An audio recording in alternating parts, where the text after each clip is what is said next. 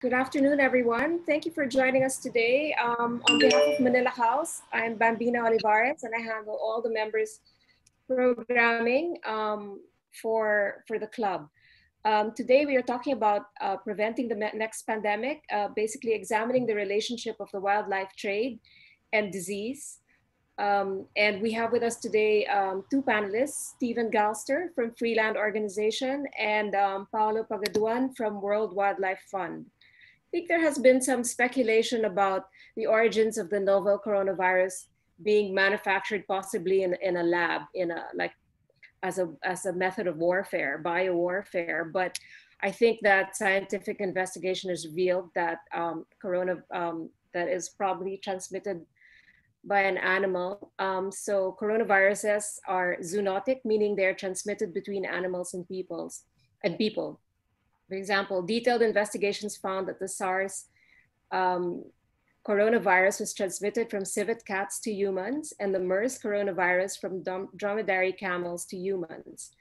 Several known coronaviruses are circulating in animals that have not yet infected humans. So this is a possibility in the future. I mean, this is not going to be the last pandemic outbreak that we're going to see. Hopefully, it, it'll be the last in our lifetime, but all the evidence points to that not being the case.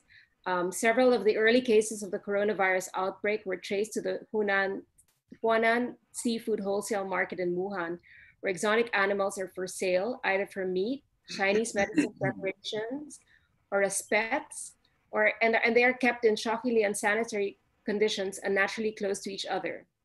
The virus that caused the outbreak is known as SARS-CoV-2, a newly discovered virus closely related to bat coronaviruses pangolin coronaviruses and um, SARS, the original SARS um, coronavirus. Um, so I'm going to introduce you now to our first speaker, Steven Galster. Steven is an environmental and human rights investigator and counter-trafficking program designer. Since 1987, he has planned and participated in investigations and remedial programs to stop wildlife trafficking, human trafficking and corruption, and to build good governance in Asia, Africa, Russia, and the USA. He co-founded several civil society organizations, including Global Survival Network, Phoenix, WildAid, and Freeland. He currently serves as director of Freeland, a counter-trafficking group. He has been featured on CNN, National Geographic, Discovery, and Time Magazine, and the New York Times. Our next speaker is Paolo Pagaduan, a conservationist with 20 years of experience organizing communities towards sustainable development through participatory approaches, managing projects on ridge to reef management, promoting cross-sector collaborations from the barrios to the boardrooms, working with grassroots, government agencies, and private corporations to work together to live in harmony with nature. He also serves as executive director of the Center for Philippine Biodiversity Journalism, in addition to being project manager for World Wildlife Fund Philippines, currently focused on the Forest for Water project. Now I will turn you over to Steven, who's going to speak about the wildlife trade in general and um, its impact on disease. Steven? Thank you. Thanks for having me here today. You can hear me okay? okay, great. So I'm, uh, I'm speaking to you from Bangkok right now, um, representing Freeland, but I'm also representing uh, an allied campaign that Freeland belongs to.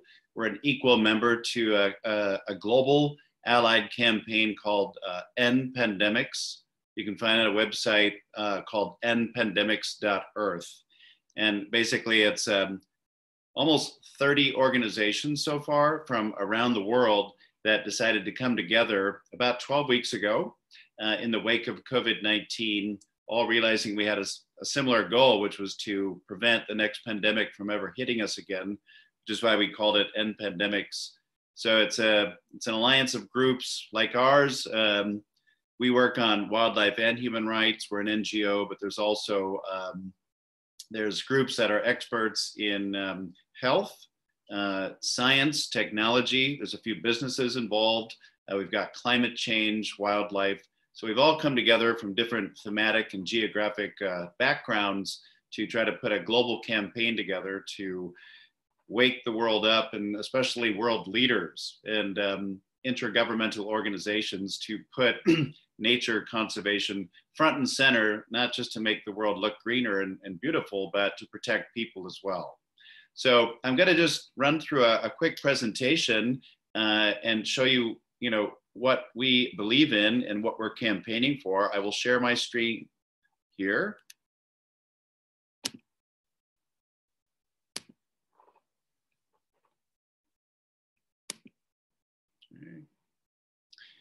And it worked a moment ago. Okay, here we go. Good.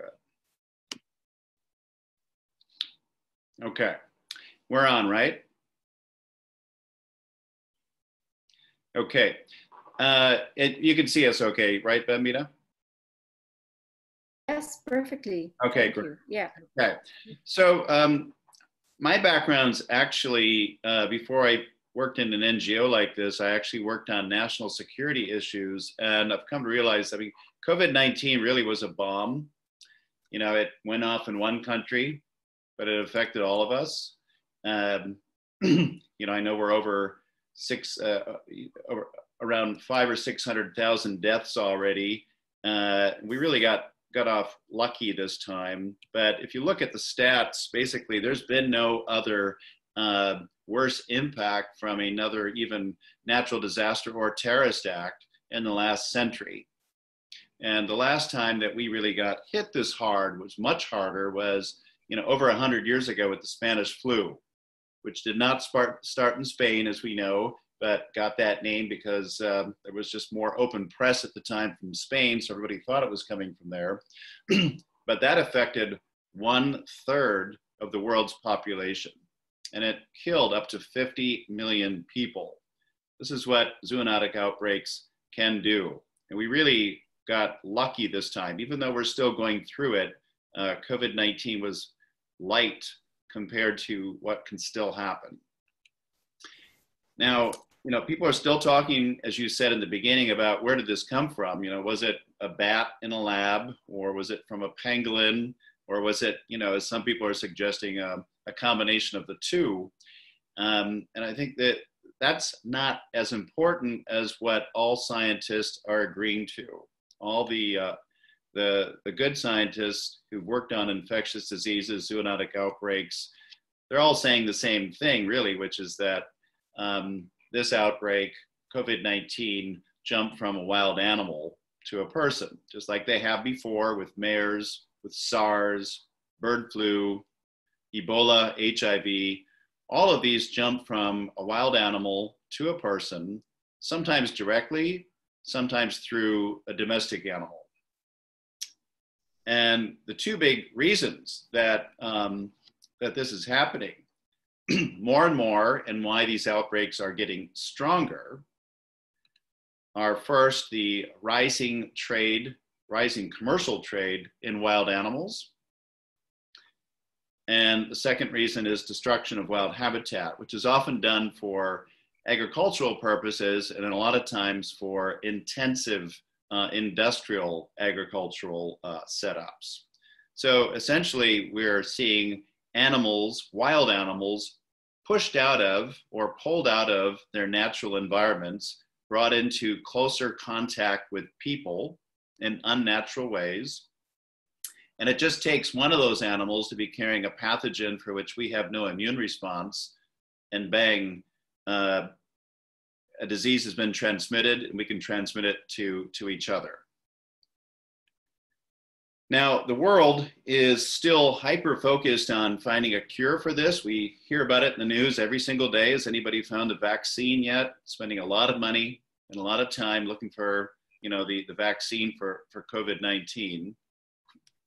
And of course, we're seeing governments um, write uh, stimulus checks and recovery packages to help out individuals and businesses um, which is understandable. Everybody, if you haven't gotten sick or died from this, I think everybody can at least relate to the economic impact. You know, it's been in the trillions and trillions of dollars.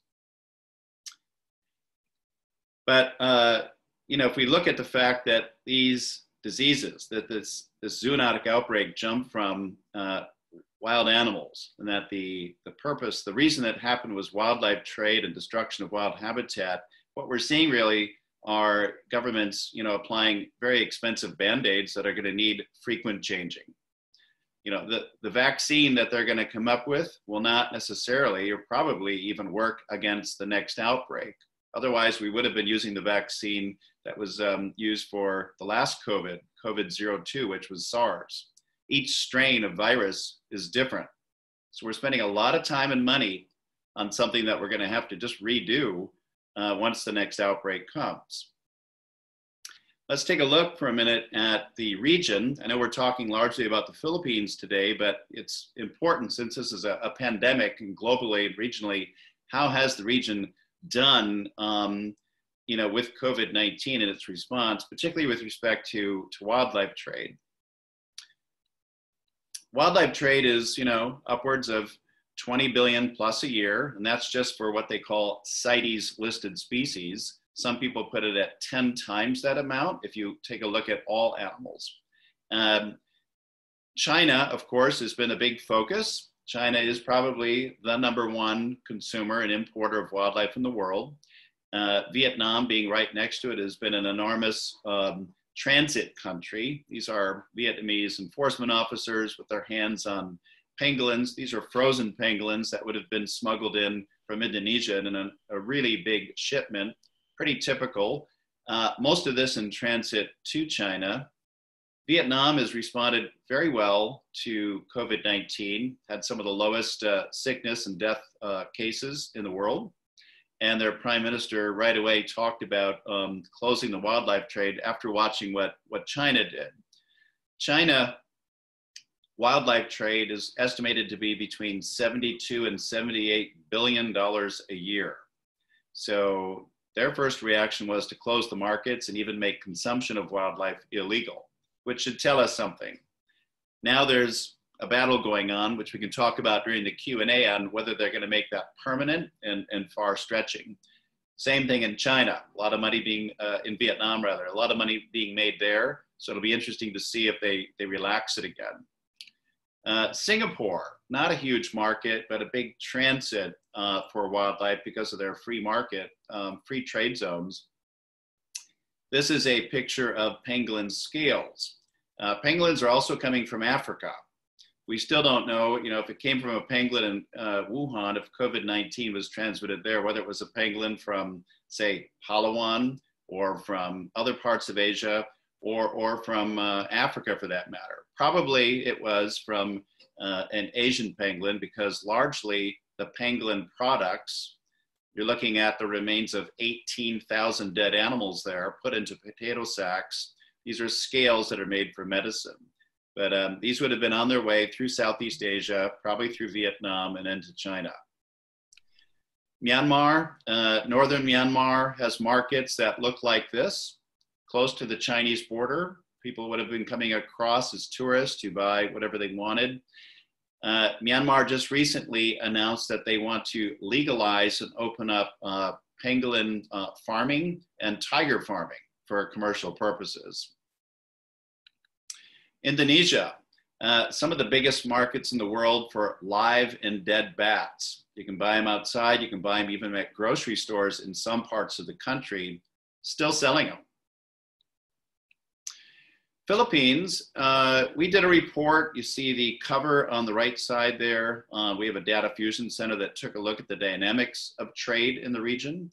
And one of the things we found is that the legal trade in wildlife mass a huge illegal trade.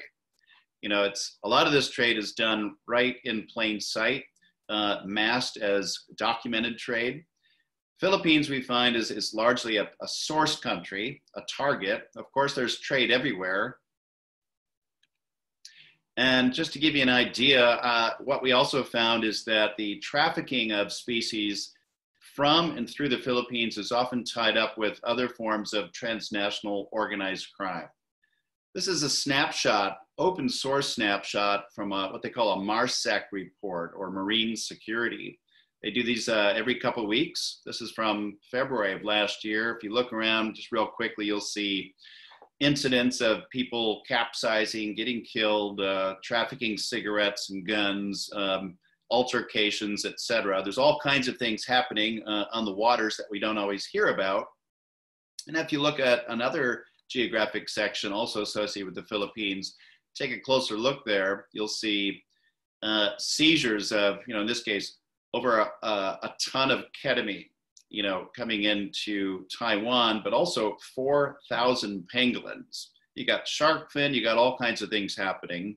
So there's so much wildlife trafficking going on on the on the high seas as well.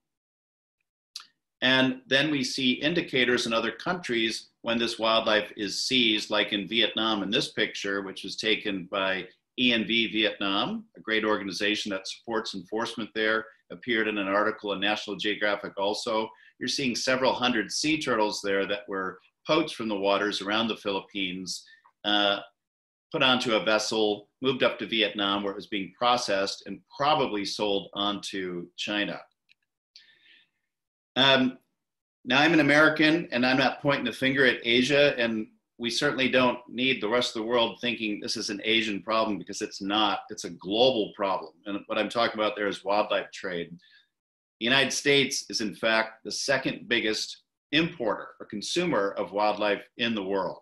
So we, as an organization and our alliance, are also campaigning for the United States to uh, close their markets in, um, in commercial markets in wild animals. Uh, I'm also showing this picture because, as well intentioned as these protesters are here, they they put up wet markets on their uh, banner. It's very important to know that our campaign, and I don't think anybody's campaign, should be about closing wet markets. Wet markets are basically outdoor supermarkets. Um, some wet markets will have wild animals for sale, like that particular one in Wuhan did. But for the most part, they're selling fresh vegetables, other kinds of meats. They may have wild animals, but uh, most of them don't. Uh, I think we need to also just quickly take a look at the lesson from SARS, which was the last COVID.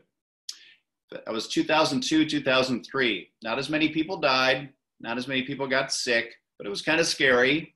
Uh, China at first closed their wildlife markets and they they disposed of a, a, lot of animals, which is probably not the right thing to do. This time, they closed their wild animal markets, made consumption illegal. Like I said, they're still talking about um, maybe reopening some. What most governments are doing now, and what United Nations uh, groups are doing, what the United Nations Environment Program, Convention on Biodiversity, and we're talking at the very top level, they're basically saying uh, let's close down high risk markets. Let's close down illegal wildlife trade, but let's not shut down all wildlife trade because wildlife trade also puts money in poor people's pockets. We need to take care of their livelihoods and not just, you know, do a broad sweeping thing. That's what China did after SARS. They compromised, they went into their markets, they regulated them more, they cleaned them up, and we still got COVID 19. And the reason for this is because these viruses don't discriminate between legal and illegal animals. You know, it just takes one animal bringing a pathogen in for which we have no immune response, and boom, something like this can take off.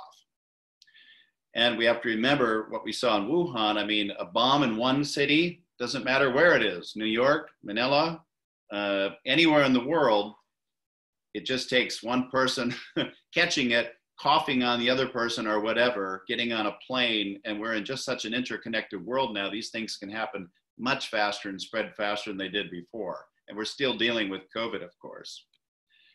So essentially, we really just need to step back and change our relationship with nature. And, and what do I mean by that?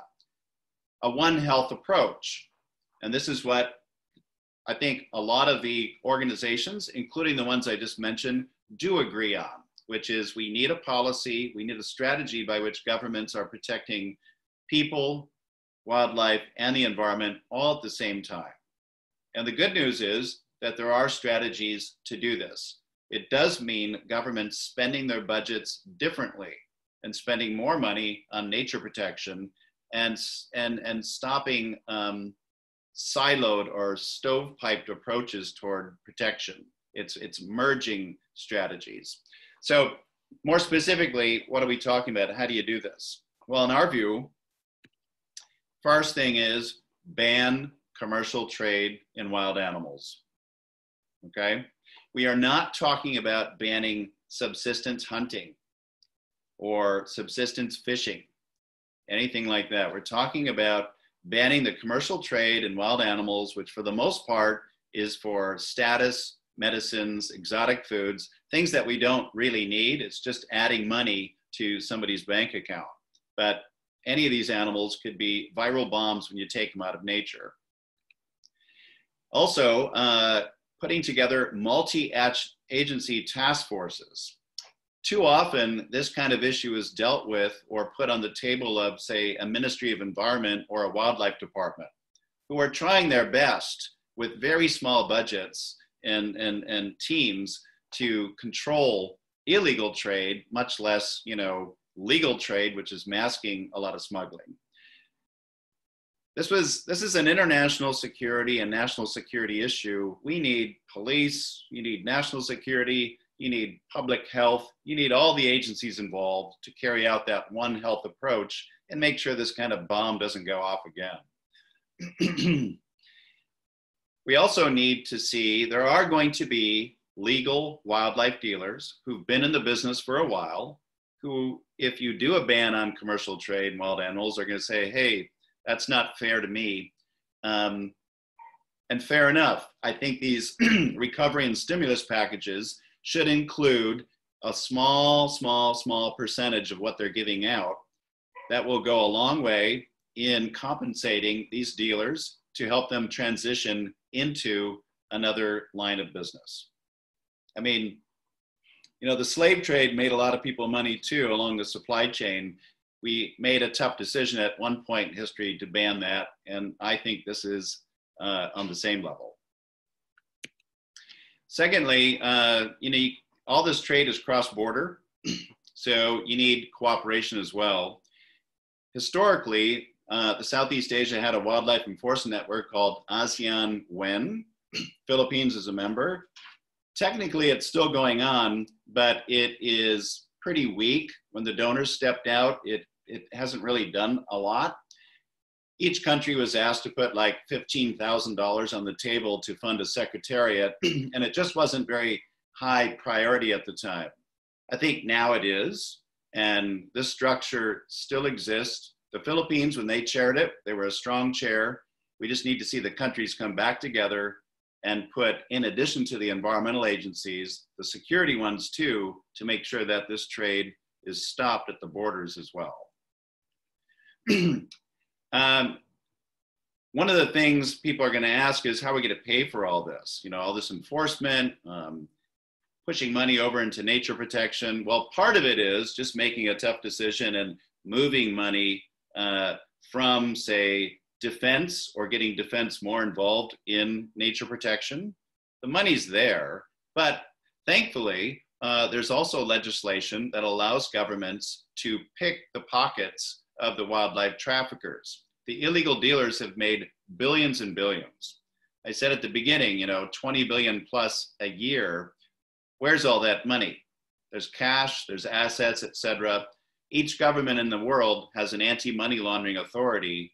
The Philippines is one of the few countries in the region that has laws on the books that allow for the government to track down seize and reprogram those assets, and they can reprogram them toward uh, nature recovery. So I think, um, you know, I'll leave it off here with the Philippines. I think the Philippines is one of the few countries in the region that is really kind of stuck up for their wildlife against some other superpowers, um, which we don't see uh, as much perhaps from some other countries. Uh, now that China is changing its policy, I think this is a good time for the Philippines to also stand up for their wildlife, close down commercial wildlife trade, ship some of their resources. And um, I would also just at the end here like to just play, give me one second. I'm going to uh, play a one minute video that represents our campaign We knew it was coming. The signs were all there. We knew we had to change. but we didn't. Destroying wild habitats, exploiting wildlife, turning a blind eye. Maybe it would go away. It didn't. It began to bite back. Primates at HIV, civets at SARS, bats and Ebola. COVID 19 is not the first pandemic, and it won't be the last. Unless we deal with the root causes. It's time to stop the wildlife trade and to support compassionate, sustainable farming to protect our planet. Let's change our relationship with nature forever. For all life on Earth. Thank you.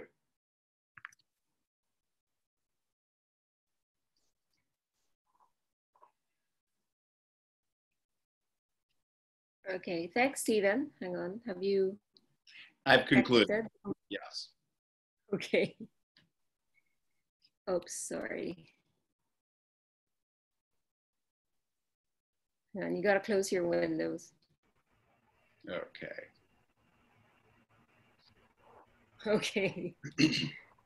Thank you, Steven. And now um, Paolo's gonna, on behalf of World Wildlife Fund Philippines, um, I think he'll give a greater um, Philippine perspective to the whole issue and um, related to the environment as well. So, Paolo?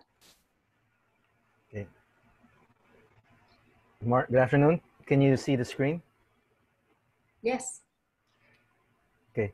Uh, thank you very much for the invitation for this talk.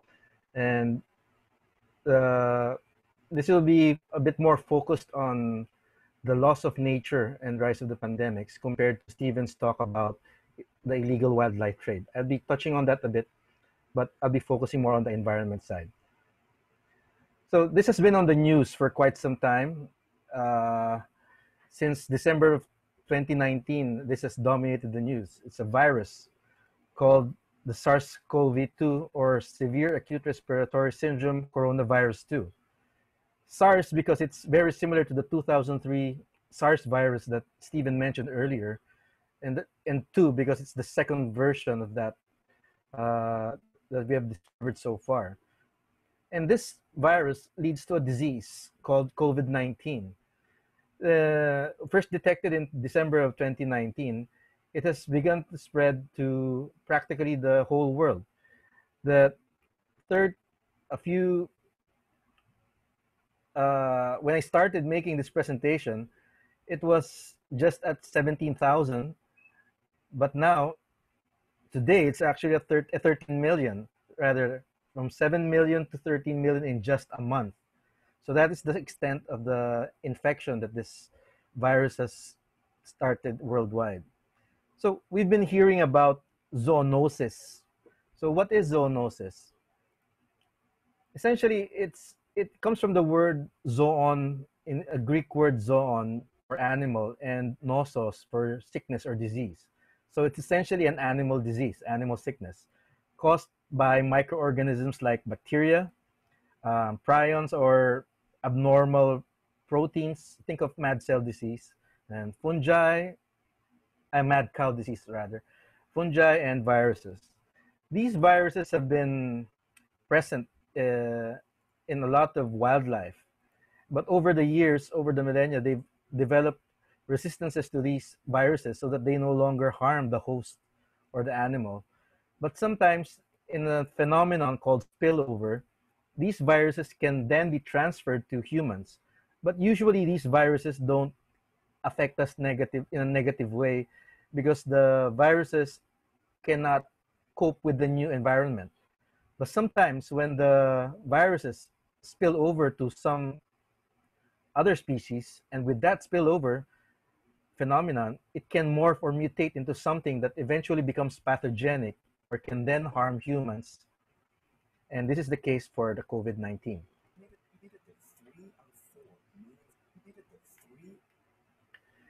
It's estimated that three out of four infections, uh, three out of four new infectious diseases are coming from animals. It may have been it may seem new, but they've been in the headlines for the past 60 years. These animal these animals to human spillovers are on the rise, and the disease they cause disproportionately affect the more vulnerable people. And currently, there are more than 200 zoonotic diseases. So, how did we get here? What gave rise to this pandemic? So, I will be telling the story about the pathways to the epidemic. And first of all, it's largely because of deforestation. Whenever we cut trees, whenever we convert land, forest lands into, let's say, uh, farms in the Philippines, we convert a lot of them into subdivisions or malls. This this the this harms the this is this becomes a pathway for the pandemic for the epidemic when one we destroy the houses of the habitat of these wildlife which then makes them more prone to move to other locations which is usually closer to where we live and second because the people going to the forest to cut the trees they then get exposed to the to the viruses in the host the wildlife inside the forests. This is a, a very alarming trend because we have a lot of deforestation in the worldwide. In the Philippines, we may recover we may be recovering some of our trees due to some government programs, but still a lot of our forest lands are being converted to other land uses. Second is species collecting and trafficking. Sometimes you don't have to cut the trees, you just intentionally go into a forest and try to catch and uh, specific wildlife, like this case, a bat or maybe a pangolin, or even the civet, civet or alamid for our coffee. And because we come in close contact with these uh, wildlife, there's a greater chance for the viruses that are inherently in, living in the in them to spill over to humans. Also, because of the animal markets shown by Steven in his presentation earlier, our direct contact to their saliva, their wastes, their sweat, and other secretions can also lead to us get transferring the, the viruses from them to us. So essentially, when we come in close contact with wildlife, when I when we say wildlife, these are not the pets, these are not the domestic animals.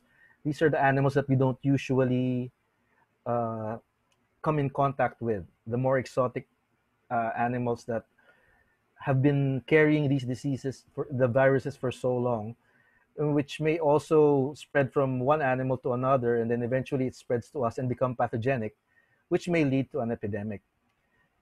The way we look at it is that the chances of pathogens like viruses passing from the wild and domestic animals to humans may be increased by the destruction and modification of natural ecosystems and the illegal or uncontrolled trade of wild species and the unhygienic conditions under which wild and domestic species are mixed and marketed.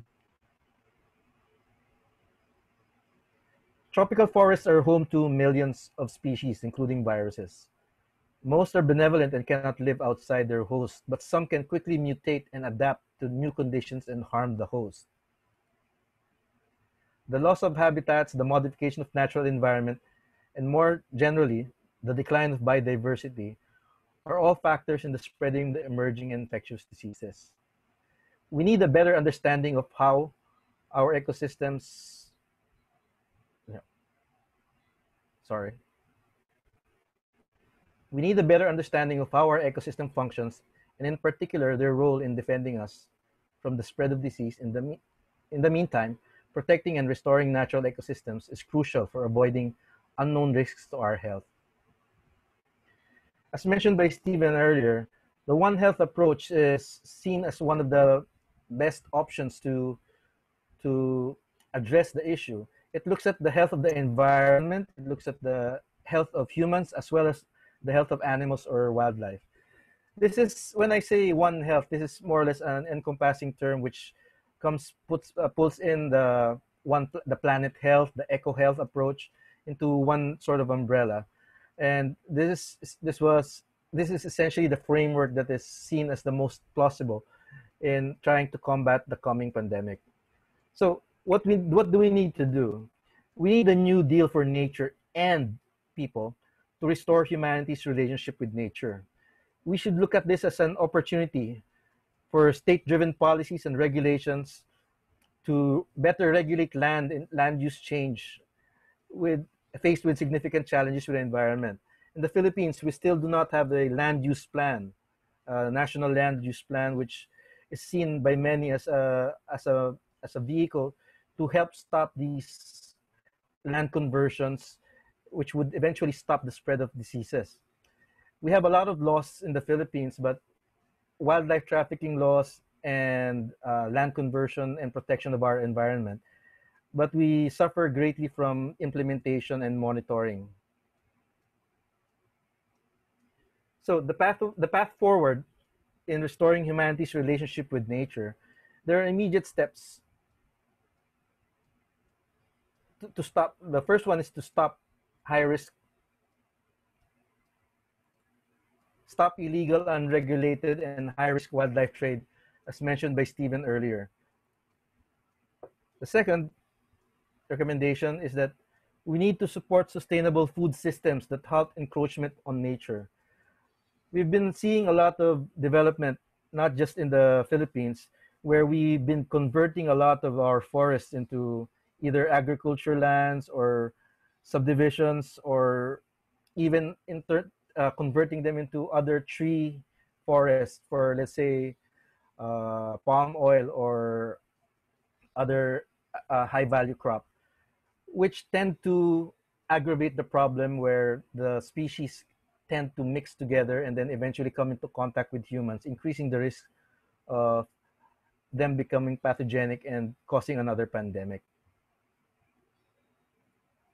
The third recommendation is that we need to build a more sustainable relationship between people and nature through sustainable and just economic recovery approaches with defined and holistic goals.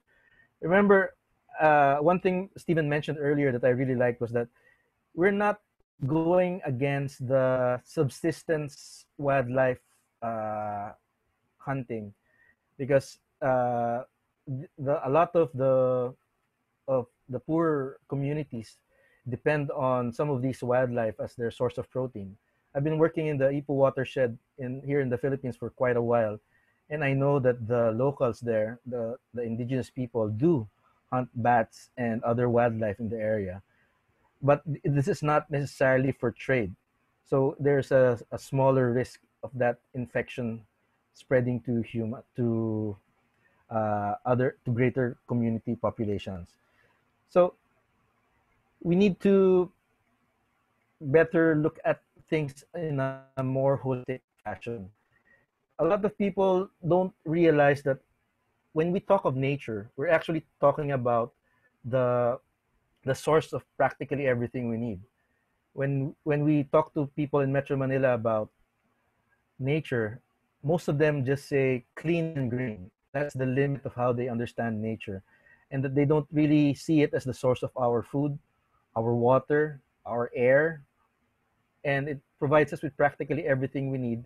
Yet we tend to overlook these aspects because we just want to see something clean and green and maybe blue. We don't look at it as the as nature being the source of everything for about our well-being. This horseshoe crab may actually hold the key to our future in our in solving this crisis because the horseshoe crab is the source of a, a chemical known as LAL, which is very important in the production of vaccine. So if we start losing this species, we may end up without having a cure for the COVID, uh, for the SARS-CoV-2 and other future pandemics.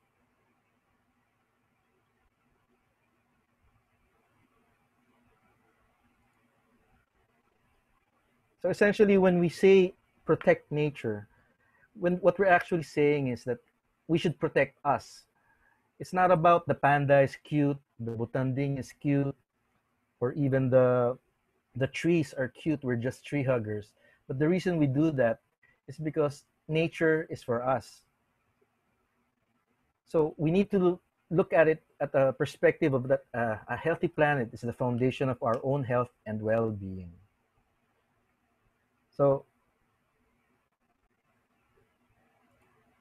let's keep our distance, stay at home, and so we can begin be together again. Thank you.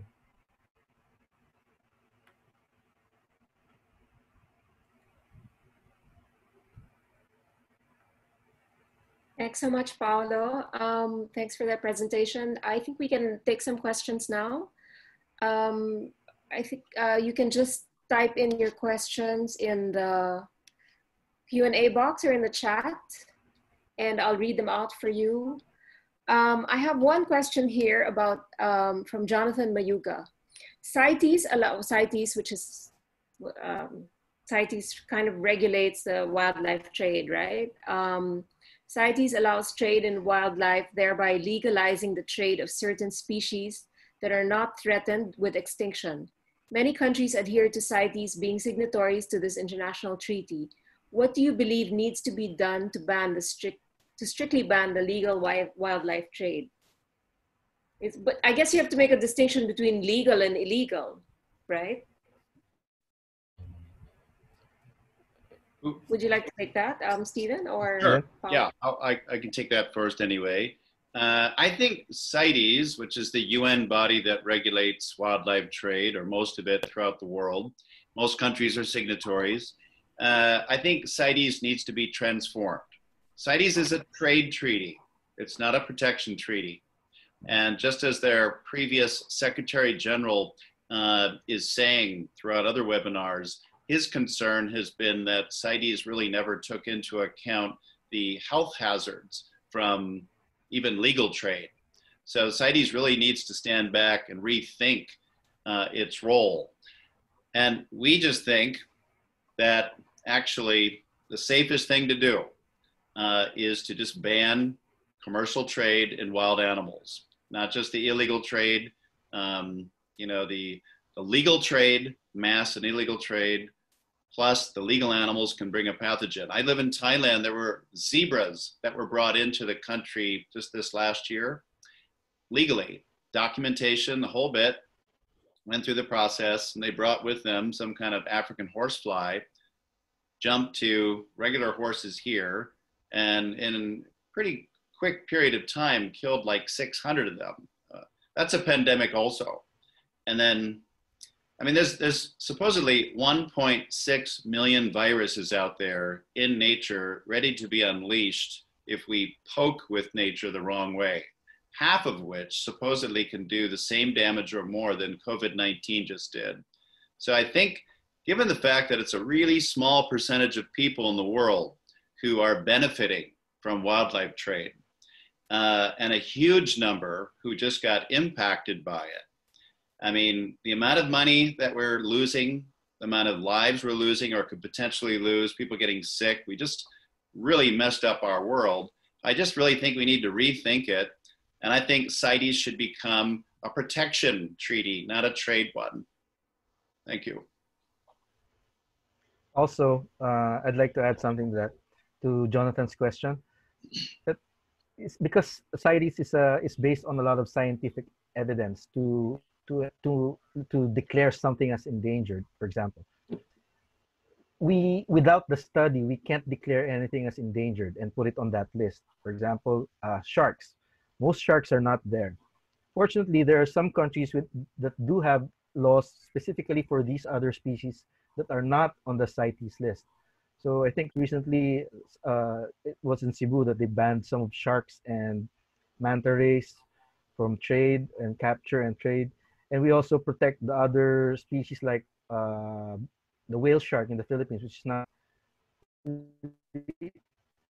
well, which wasn't part of sun, because uh, it has to be based on scientific research, and some of the species are very hard to uh, to study. Imagine how many sharks you need to study in order to develop a database for a shark becoming an endangered. So that's something that we also have to work on. We have to put a lot of emphasis on scientific research as well to become better at determining which species are very uh, much in danger of being extinct. And then later on, improve the CITES as to what Steven has said earlier. Um, I wanted to ask, is there any way you can change the habits? I mean, we keep hearing about uh, people who like to eat wildlife. Like it's kind of like some, it's positioned as some kind of gastronomic experience. How do you change those attitudes? I think there's been a successful campaign more or less about the shark's fin soup. Mm-hmm. Um, but how? I mean, and you say would would the biggest market be China, the Chinese or something? How how do you how do you stop it? There are all these diseases coming up already, but still people are, you know, it hasn't stopped the trade or, or the or the taste. Well, I think um, there's been a lot of campaigns, as I'm sure my colleague from WWF can attest to as well, uh, around the world, behavior change campaigns, as we call them, to try to get people to think twice or not to buy uh, wildlife. And I worked on one about shark fin soup, as you mentioned, and we tried like the Dickens to get people to stop eating shark fin soup. It's hard to get people sympathetic about sharks, you know, to support Jaws, basically. And then we were able to show with scientific evidence that um, shark fins oftentimes contain high levels of mercury. And that did it. I mean, uh, that plus the pictures of sharks getting fin, people were turned off by that. I think most people don't like cruelty. But also on top of that, you know, if you're ingesting mercury, especially for a, a childbearing woman or anybody, you know, we don't, it can ruin your brain. Uh, that had an impact um, so much that we ended up in court being sued by shark fin dealers. But I think in the meantime, we've done all kinds of campaigns, and quite frankly, COVID 19 has been the biggest behavior change campaign in terms of impact we've ever seen. And we're seeing a lot less wildlife consumption in China right now. The question is, given what happened after SARS, is that going to last? Also, uh, the other side of that is that we can change the the demand side from the consumers that we make better choices. But also the quickest way to affect the change is with policy. Once you put down that policy and implement it well people will have no choice but to follow. The suppliers will have no choice and then we'll be left with the you know the, the illegal trade. But we get rid of all the other trade that that's still harmful but still at the moment legal so similar to what happened with smoking in the Philippines, it was practically when the government declared it illegal, it was practically in less than a month. Stop. Because it's a national policy now, and that can affect immediate change compared to uh, a long drawn campaign on behavior change, because that will take a lot of work, as mentioned by Steven, because you'd need to to package it very well to a specific uh, commodity and specific audience. But then again, they work hand in hand. There's more than one way to stop a runaway train. So you work on that side and you also work on this side. So hopefully bringing them all together can make it a bit faster in trying to affect the change. But um, Steven, you were talking about the kind of the network. Uh, you've been you've been campaigning for this for quite a while and visiting markets around the world. In this network, is it can you disclose like who's at the top of it? Obviously they have all these foot soldiers now you know going to the you know getting the dealing with farmers and and poachers and hunters and everything to get to get the the stock to get the supply. But how high does it go? I mean this is you're talking about billions of dollars in trade. And are do they get government protection or or something? Because you know they're they seem to be still quite strong yeah, well, because it is making so much money, uh, organized crime has become attracted to wildlife trade. Didn't start out like that, but most of the cross-border trade in these species, the largemouthes, is done in a very sophisticated way. We're not talking about man pa kettle operations, smuggling, you know, a few animals in a truck over a border in the nighttime. We're talking about semi trucks. We're talking about freighters. We're talking about commercial airlines moving tons and tons of, you saw those pangolin scales, elephant tusks, those sea turtles. So that's organized crime that is usually working in cahoots with uh, at least a few officers along the supply chain. So definitely there's corruption, can't happen without it. And that's what we're up against. So these animals that are making their way onto the markets, not just in Wuhan, but you know, San Francisco, New York, Bangkok, other places, this is being done in an uncontrolled, oftentimes contaminated way. And it's mixed, legal and illegal. And you've got breeding farms as well. So when you look at the people behind it, the fact that they don't care about other people, they just want to get the product to market, just like they're moving drugs. They've staked out their territory. Um, that's what we really need to take into consideration. They're the ones that are making most of the money. They're corrupting the enforcement chain and they're making us sick.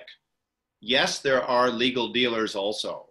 And like I said, unfortunately, I think we need to, that needs to stop as well. But fair is fair. They should be compensated in a one off by some kind of transition and let's start over. Let's push reset. Yeah. Well, this is a little off topic, but now that I have you talking about the, you know, the organized crime, has your life ever been threatened? Because you've been going from market to market campaigning about this, uh, and come across have, coming across certain powerful people. Yeah, we we have a an extensive team, and you know, I've hired largely folks from the sort of who are good analysts and from former law enforcement agencies who know what they're doing. So I think the people whose lives are really at risk are those who, you know, are not putting their face onto a Zoom like me, but others who are out there. We're getting excellent information, watching these supply chains, trying to put them out of business. But I'm here to tell you, uh, it's an uphill battle, and the easiest thing to do, going back to my respected colleague from WWF, he's absolutely right. Policy if we can get high level policy to just shut down this trade, it's not going to happen overnight, but it's going to drive it, and it will drive some of the trade underground for sure. But there'll be fewer people willing to take the risk going underground to sell, and there'll be fewer people willing to take the risk to go underground to buy. That reduces the volume of wildlife, that reduces the risk of uh, threats to the species and to us, and at the end of the day, it narrows the scope for law enforcement. It makes their job easier. Thanks. Thanks, Steven. Um, corollary to that, I have a question for, I guess, maybe Paolo, because um, it says from Brian Gonzalez, Philippine government issued a 2011 administrative order for zoonosis interagency cooperation. How do we strengthen this and how can the Philippines shepherd this model in the ASEAN region? I think this administrative order is similar to the other laws that we have. It's just it it suffers from a lack of focus on is it really that important? Because there's remember that before this uh, current pandemic, this was not on the radar of most organizations or especially in government government offices. So I think this was this was part of the work of the Bureau of uh, Biodiversity Management Bureau, maybe even with the ASEAN, uh, the with ACB, but it's not that uh, you could say known, so it's not that uh, prioritized because we're here now, so we're not focused on this too much. But as mentioned earlier, that it, it's a matter of putting things into better perspective because when dealing with this uh, with zoonosis, we need to bring in several departments for the Philippines specifically to work on this issue. And that is a common problem in the country when you have several secretaries working on a specific thing with co-equal powers. So the the as we mentioned earlier, the One Health approach, in where we, we talk with people. So you probably have the ALG, maybe uh, DOH working there. Then you'd have the environment so you'd have DENR there, and then you'd have also the for the animals per se. So you'd have the maybe the the veterinarian or the agriculture people working together, and these are just three departments. So imagine bringing more people into the equation and bringing more people into that body to better work on this. It's been quite a challenge for the Philippines. Several governments have already tried to enact a sort of synergy with all these departments and we've been working on several of these committees as well but it's been very problematic in terms of implementing it so i'm not really sure if this is something that we can move as a model uh, we use as a model moving forward maybe in principle as the way it's written, but in terms of implementing it, I believe some other countries may be better at doing it than the Philippines. Because remember that it's not just happening in China. The bats in China that is identif- that was identified as the possible source of the SARS-CoV-2 are the same species that can be found here. The pangolins are one of the highest traffic uh, wildlife in the Philippines in Palawan. We consume alamid coffee as a gourmet thing. It's alamid is the civet cats. These are wildlife that have been tagged as the sources of these zoonotic diseases, and yet these are things that are very commonly uh, caught and sold in our market because it's not something that we've been focusing on. But maybe as an opportunity now that maybe these are some of the things that we need to look at. It's not just China. There was a question for India. It's not just that these specific animals, maybe not the camel for MERS, but they are also here and they're very prevalent and they're very uh, big part of the illegal trade. And as well, when we look at the destruction of their habitats, we, we cut down more forests, we expose uh, ourselves to more viruses. So that's also part of the equation. And I think we have a lot of laws concerning that, but it's not very well implemented and monitored. And um, is there a particular country? This is a question from Chiqui Quintos. Uh, is there a particular country in the world that could serve as a model for protecting its wildlife and protecting wildlife trade? Is there anyone who's been, you know? That's that's what we're looking for. We're looking for a leader. We're looking for a champion to champion this One Health approach. And I think, uh, as I mentioned in the, the, the, presentation, there's a few countries in Southeast Asia that actually um, could take a leading role in one way or another. The Philippines, for, first of all, uh, like I said, has laws on its books that would allow the government to dig up all that dirty money made by syndicates that are raping their oceans, chopping down their trees, doing all these illegal things that are destroying nature and making the world dangerous, not just for Filipinos, but for the rest of the world. And, you know, let's find that money. The Philippines should lead the way on what we call restitution. Um, there's other countries in the region, uh, Vietnam and Thailand. Vietnam's prime minister has come out saying he wants to pass a directive to ban the trade in wildlife. We haven't seen it yet, but there's talk about it. Um, Thailand could also has some very good wildlife protection going on on the ground and some people at the higher levels talking about it. So there's a few countries in the region and facilitating some of that discussion in the middle is the ASEAN Interparliamentary Assembly, which is all the lawmakers. We briefed them a few weeks ago. Tremendous interest from the lawmakers, which we did not see in the past, and now they're they're keenly interested in finding out what should they do. And the question that always comes up is how are they going to pay for all this? And I think, you know, again, it's merging budgets in the One Health approach, making nature protection your really long-term sustainable vaccine. Paolo, do you want to add anything to that? I'd just like to stress that, uh, in particular for our tropical forest, we actually view it as our antivirus because if we keep that intact and we keep the animals there so we'd really stop it that we really reduce the risk of the next pandemic he even mentioned that we we're spending so much to build the virus to create the vaccine for this one but it won't work for the next one hmm. so we really have to stop the next one from happening and we do that by cutting down on illegal wildlife trade and the destruction of our natural habitats and what about the wildlife trade? Is, is there going to be a legal component of the wildlife trade for, let's say, the medicinal for medicinal purposes? How how do you how do you um, confront um, those with cultural practice, uh, practices that believe some animals have certain healing powers, like you know some Asian countries, and that's where part of the trade you know is from. Like something about the pangolin scales as well, right? Are supposed to have some medicinal properties. So how do you how how do you deal with cultural beliefs as well? A very tiny percentage of traditional Chinese medicine is based on wildlife. Most of it is based on herbs. So that's a, it's a misconception, but you're right. It does exist, and it only takes a tiny percentage of countries with 1.6 billion people to drive a lot of trade and therefore poaching and trade. Um, I think that the, the key here is that just to remind people that um, this stuff, you know, the science isn't really there to support it making you better. And there's a pandemic that just happened that suggests it might make you sick.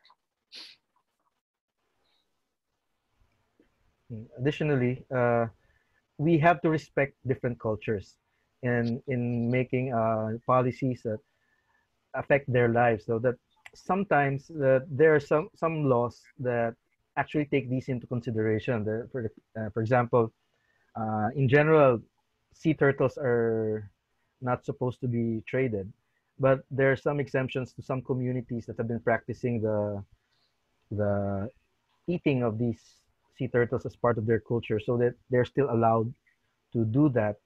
But in a scale that is not as destructive as the other methods mentioned that you don't hunt them for to get 18,000 pangolins to dip, to get the the shells the scales and then sell it to China.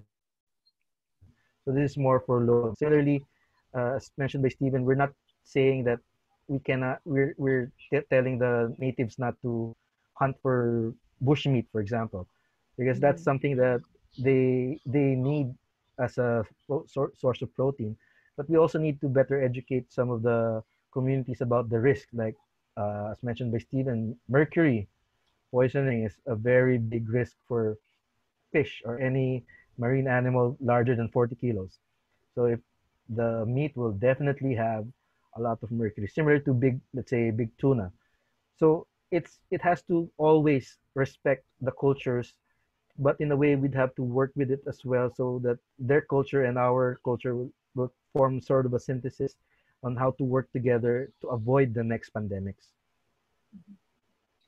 Thanks, Paolo. Um, I noticed also, I have a question from uh, one of the attendees that you had, when you had your map earlier, Steven, you, there was a lot of red dots all over India. So what is India's role in all of this as a transit hub and an origin, perhaps?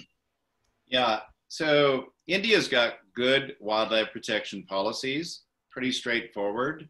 Um, there are species that are being taken out of India, of course, uh, and are being poached. But I, I think the, um, the reason for the spread of COVID there is not linked to the wildlife trade. Um, you know, it's, there were infections and they, you know, there's a lot of people there, so it's hard to control it.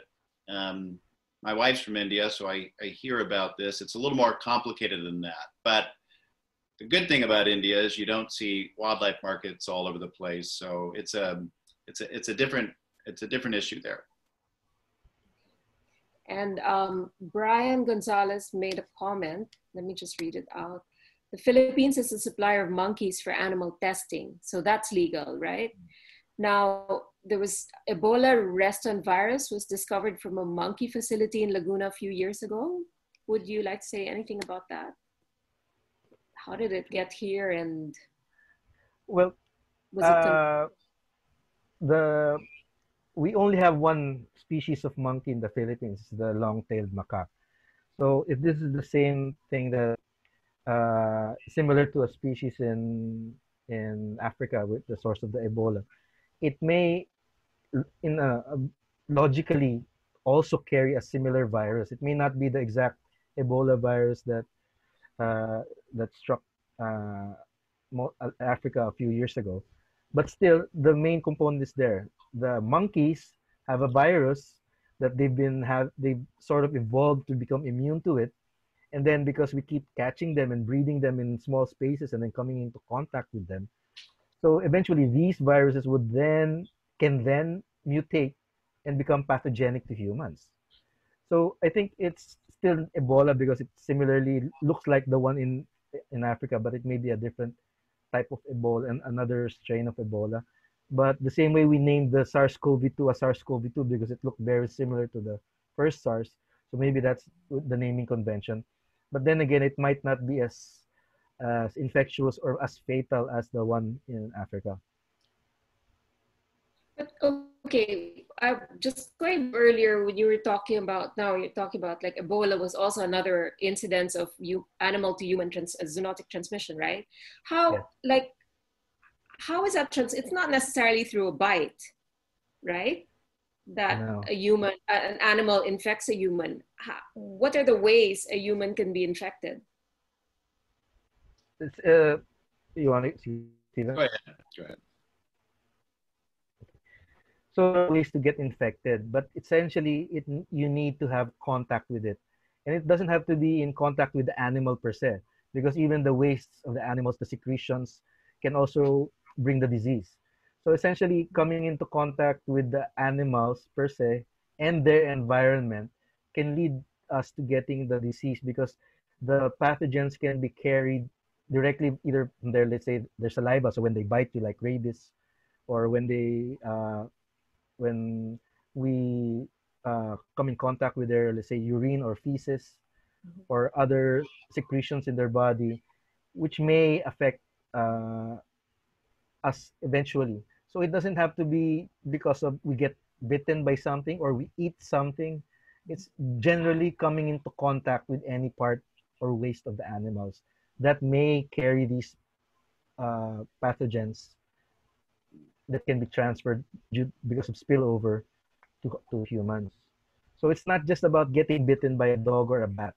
It can transfer from several ways, and not just from a wild animal to humans. It can also happen between wild animals to domestic domesticated animals, and the way we farm our domesticated animals in very tight uh, areas, very uh, dense populations. It's it's the breed it's a perfect breeding ground for anything that spills over to them and eventually may spill over to us becoming pathogenic Absolutely. Yeah, I think that's a really important thing to add to this. It's not just the wildlife trade, like we said before, the destruction of the habitat largely for industrial intensive farming. There's better ways to do farming using that agroforestry expertise, you know, and a compassionate, sustainable approach. Uh, indigenous populations, the way they live and collect animals, there's not problems there. It's just this large, intensive approach that we need to really rethink and remembering that you know it just takes a few people to get sick to get it from the pig or from the wild animal directly. Like in china we don't know exactly yet how many people actually got infected to begin with. But you know when you asked about india before probably people who are studying or working in a different country. They got it from people. People are the biggest transmitters once the whole thing starts. Because of the improvements in our transportation. Right We used to be very isolated, but with the air the airline industry, it just spreads. And, and now it's supposed to be airborne, right? So that makes it, I mean, the latest news, right? Through air, aerosols and all that. So yeah yeah, you can get it talking to each other Yeah. Yeah. Okay. Now, in your experience, here's another question for to both of you. Have you come across indigenous communities or tribes that act as protectors or saviors of certain wildlife species?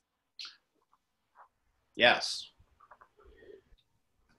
But they are having a harder time doing it because they're coming up against commercial armed poaching gangs who are coming into their territory who are being sponsored by you know traffickers commercial traffickers. But yes historically uh, in different parts of the world indigenous groups have done a lot to protect not just the wild animals but the habitat.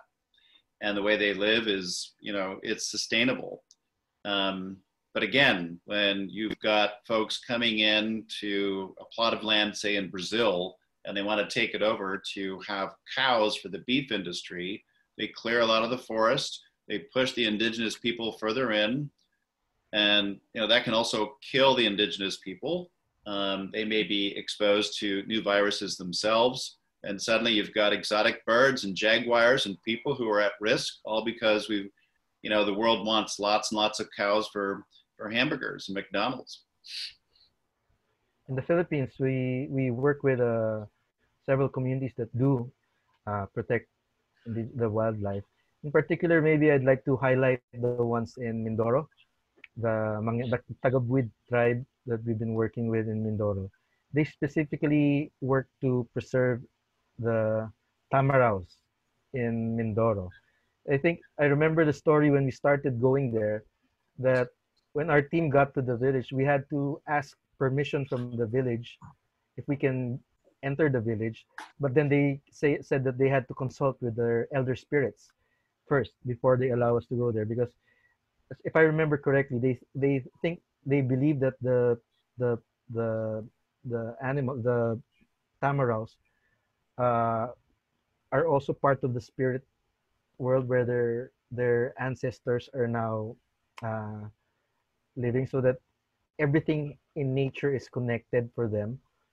It's a very different outlook for many people but then again because it's part of their world the spiritual world for them they really work hard in trying to conserve and preserve the tamaraws in mindoro. Uh, okay there's another question a follow-up to that. What is the possibility of capitalizing on myths to protect wild animals? Just the same just the same way as myths about healing properties and curing impotence are driving demand for consumption. So that's they, they may have worked yeah they may have worked a lot in the past. Remember a lot of stories that we don't go into that forest because there's a bantay or guardian. We don't go swimming in that because there's something there there's a spirit. But i think with with the in, in, in, in information in information. the the a lot of these a lot of these getting debunked. But in a communication sort of way we can still work uh, we can still capitalize on that but not to the point that we're spreading false news and I've seen, uh, I'm afraid that organized crime, as strong as it is, is going to cut through that myth and go after the animal anyway. An example of that last year, we were investigating a tiger trafficking syndicate in Southeast Asia.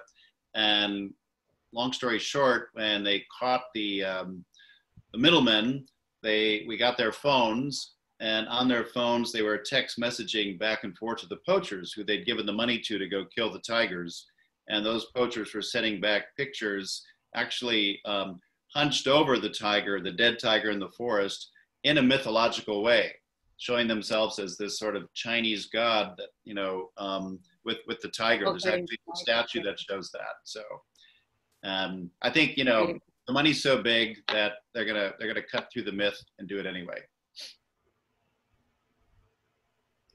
But um, okay, so let's go back to pol- the politics of it all and policy.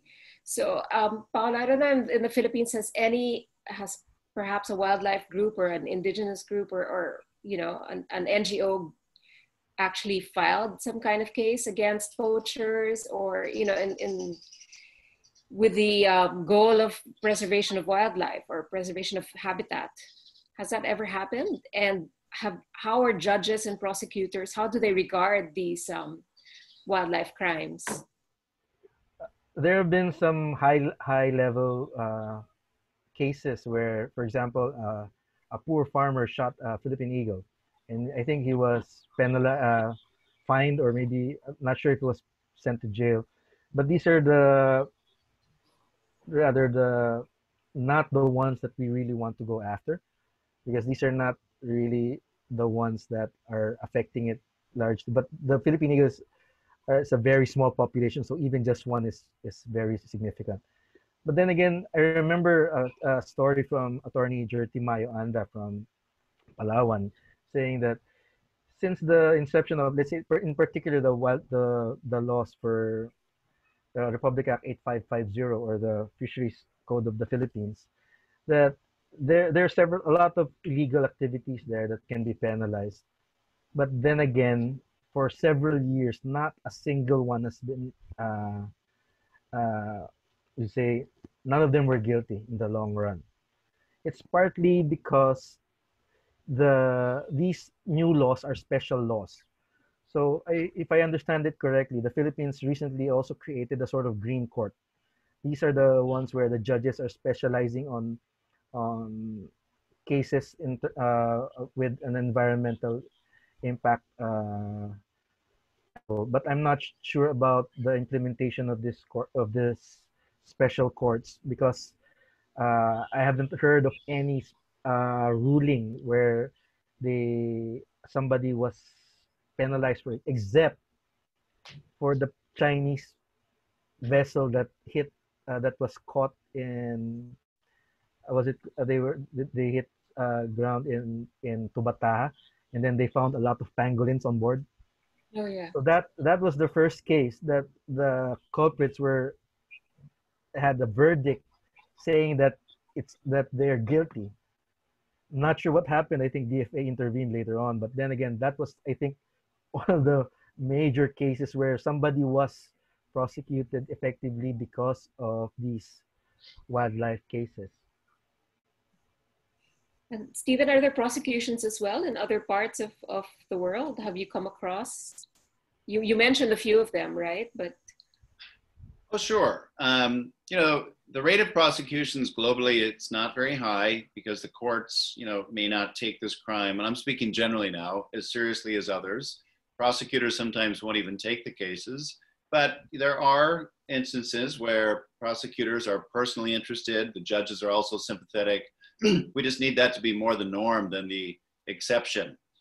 Um, and I think uh, I, at the end of the day, though, the thing that's really going to slow this down, stop it, and even help us uh, reverse this destruction and help nature recover is by going after their money. We should be making traffickers finance nature recovery. And that's what the courts can do as well. That doesn't even require criminal prosecution. That's a that's a civil law. That's that's money laundering. They're all money laundering. Mhm. have they been tracked? Have, has the money? Have there been successful traces of where the money has been spent? There's been a few, uh, not too many, but it's a it's an emerging trend, and it's one that we'd like to see expand. Um, we've seen a couple cases where uh, here in Thailand we helped the anti-money laundering authorities uh, track down a syndicate that was trafficking uh, big cats and rosewood and other things, and they found like 37 million dollars worth of assets. Uh, nobody would have thought, looking at this particular family, that they would have had that much money, but they had an enormous amount of money. They froze those assets. None of that money went into nature protection because their laws did not allow for it. So we're trying to revise that now. Uh, we've also seen cases where a few different countries, I can't speak about which ones, these are ongoing things, are actually collaborating now, going after wildlife traffickers. And the first thing that the anti money laundering investigators do is they divvy up the pie. They say, okay, let's break the supply chain, find who's a, who the kingpins, get the money, and when we happen, it's 50 50. 50% of their assets go to each of our country. Some of that money should be going back into nature recovery, and then we can all get part of this game. We can turn it into a, a Robin Hood. Yeah, but doesn't it sound a little bit hypocritical as well? They're, you know, they're contributing to the destruction of the environment and, and you know, um, furthering the wildlife trade. But then if they put money back into it, they'll be okay. I mean, ideally, it would be the best thing to do would be to stop them, right? Completely and seize all their assets, maybe, and, you know. I think you you do stop them by taking all their money. You freeze the trigger. You basically emptied their fuel tank and filled ours. Mm-hmm. That's the poetic justice, and that's really what's going to have the impact. And yeah, I'd also like to add that some some of the you could say the capture of wildlife are are sometimes not intentional. Okay, we I don't think that many people in the Philippines at least go around hunting for dolphins or or sea turtles, but because of the other practices that we've been doing, particularly for catching, let's say tuna, these are bycatches of the process of catching the other species. So, but in turn, when they catch, let's say, the dolphin or the the shark, unintentionally, by the way, or the sea turtles in their nets or in their lines, they still trade them. So they, it's, it's still it's still a part of that trading system that sometimes technology can play a big role in trying to stop that part of the capture of these wildlife.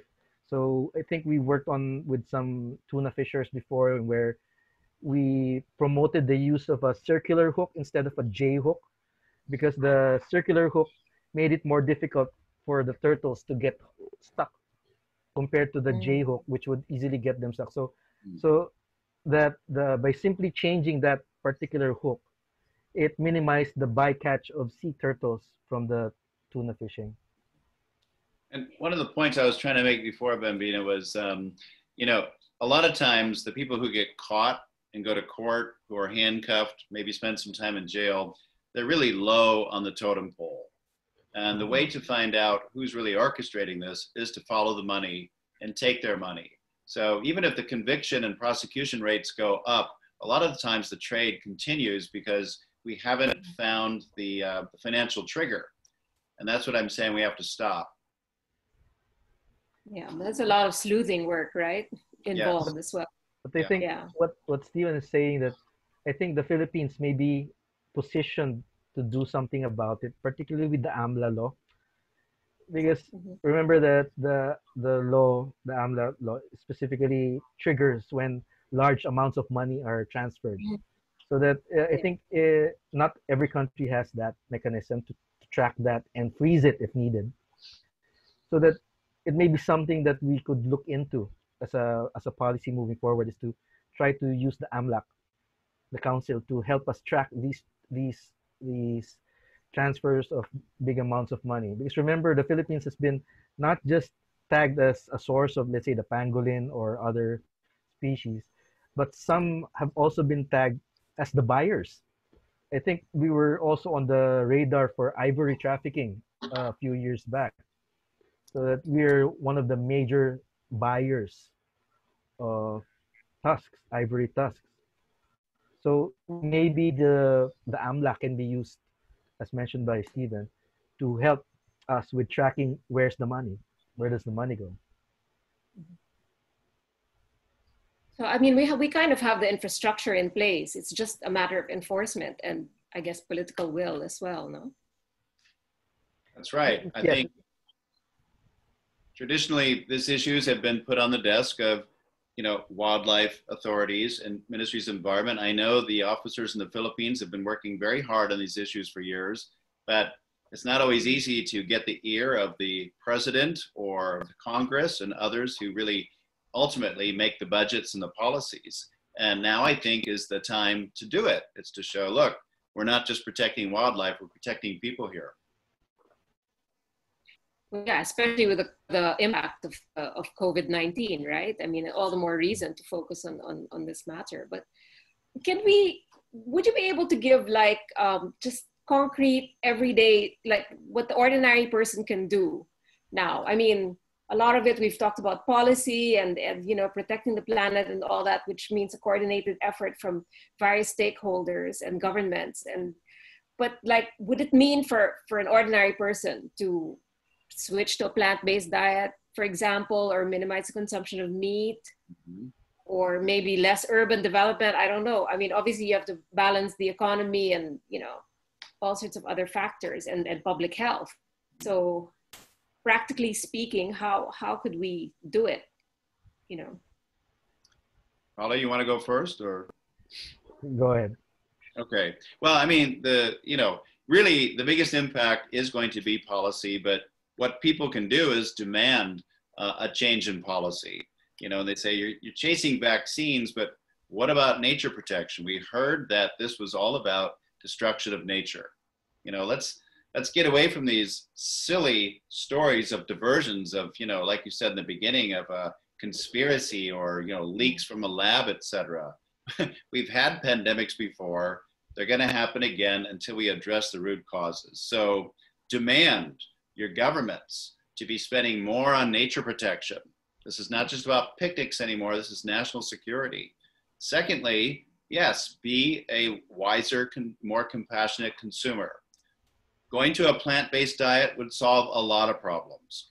If you're not ready to do that, then at least be a, a conscientious shopper and try to buy food that comes from, you know, that's organic, free range, the kind of agriculture that allows, like you showed in your picture before, Paolo, uh, coexist with trees and nature, etc. That's less likely to be harmful to the animals and less likely to pass pathogens. These are two simple things that you can do, and I'm sure Paolo can add um, more ideas.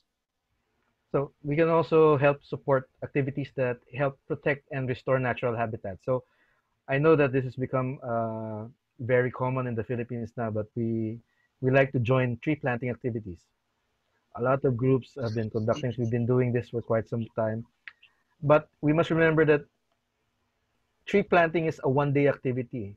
There are 364 days left in the year that we have to take care and ensure that the tree grows. It's a, it's more like tree growing and not tree planting because tree planting is for the pictures. Tree growing is to ensure that it becomes a forest. Also, we also have to minimize our footprint, the way we consume the environment. So the target for WW is actually to halve the human footprint. By changing our consumption patterns, maybe shifting to a more plant-based diet. I know that's difficult. It's very difficult. But also changing the way we consume things. Like let's consume, let's uh, be more uh, informed about our choices in, let's say, packaging.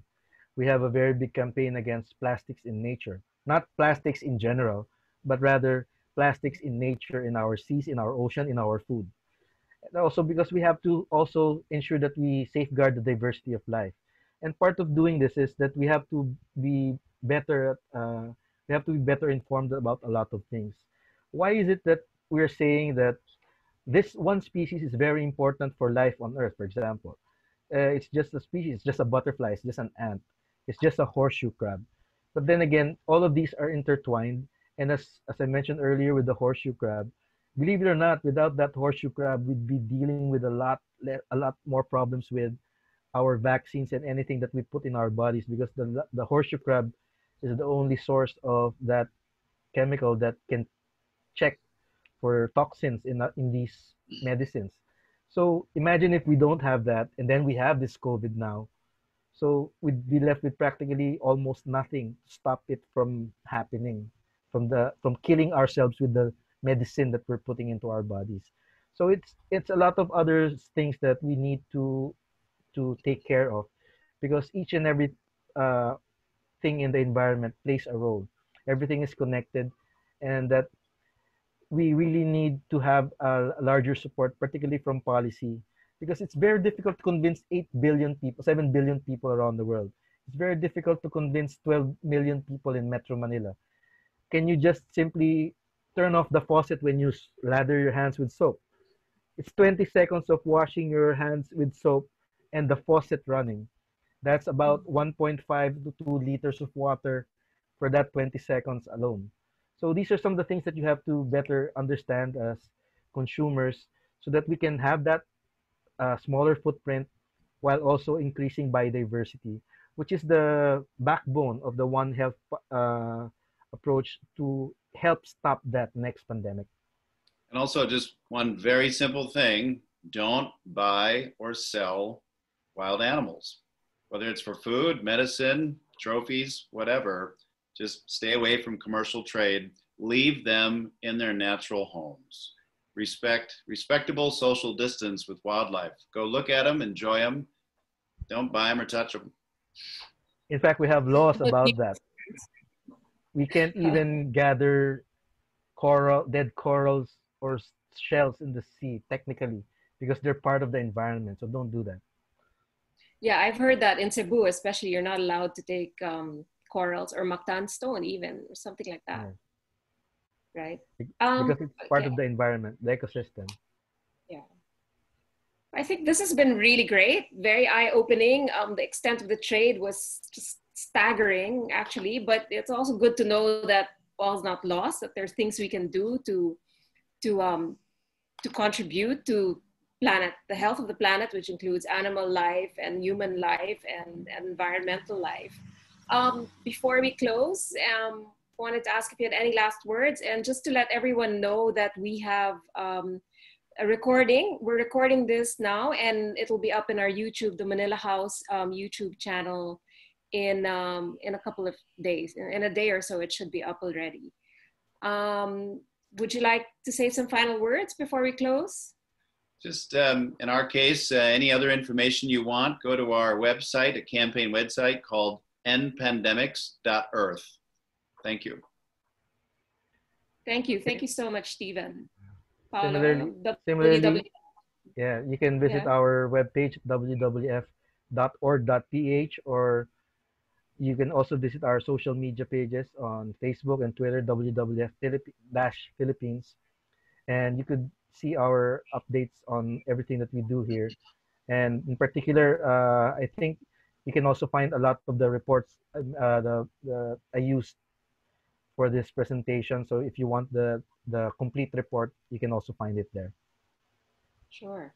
Okay, thank you so much to our two speakers today, Steven Galster and Paolo Pagaduan. This was a wonderful afternoon. Um, and thank you for all that information. And like I said, it, it was really eye-opening. And I, I see from the comments that a lot of attendees have the same, um, have the same um, feedback. And um, I just wanted to say that next week we have another webinar on Tuesday, 3 p.m. Uh, about libel. So this is obviously moving away from pandemics. We're, we're talking about libel and the law, and we have um, Chief Justice Antonio Carpio joining us, as, as well as Attorney um, Geronimo Sy and Marites Vitug, who is a seasoned journalist. So we hope you'll join us for that as well. Thank you so much, everybody. On behalf of Manila House, I'd like to thank our two speakers today, Steven and Paolo, and thank you to all our attendees for tuning in. And be kind to the planet. stay and safe everyone Also. Thank you. thank you Thank you so much. Bye. Bye, everyone.